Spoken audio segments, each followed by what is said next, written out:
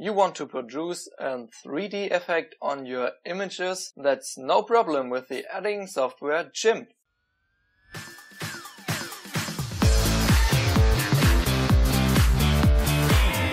I already installed GIMP. If you don't have this program, I'll put the link in the description. So we open the program and maximize this window here.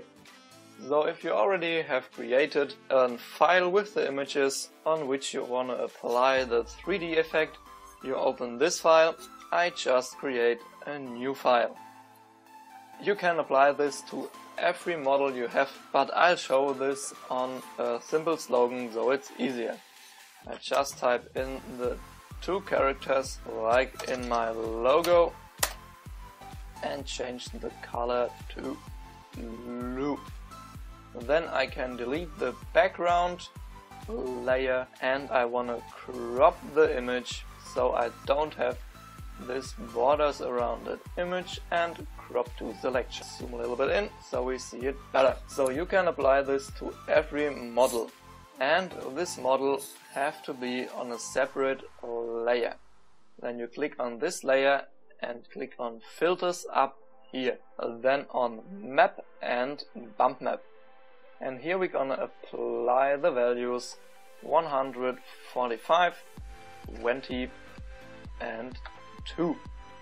So now we see it changed a little bit, like it has a little bit of a shadow and we need this though the 3D effect works. Of course 3D effects have relation to our perspective and to change the perspective how you want you click shift and P and now the transform dialog opens. Now you can drag and drop every of these four corners and change the perspective how you want. You see, we can change it in every direction. But I let it in the default front perspective so it's easier. Now we have to click on the layer and duplicate it a few times. We start with five times. So one, two, three, four, five.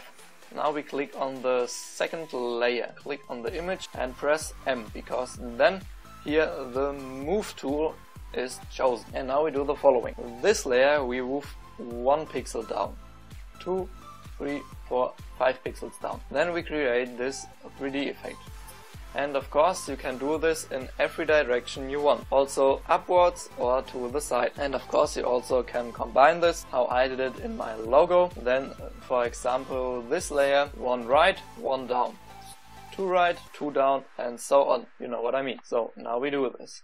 This layer, one down, two down, three down, four down, and five down.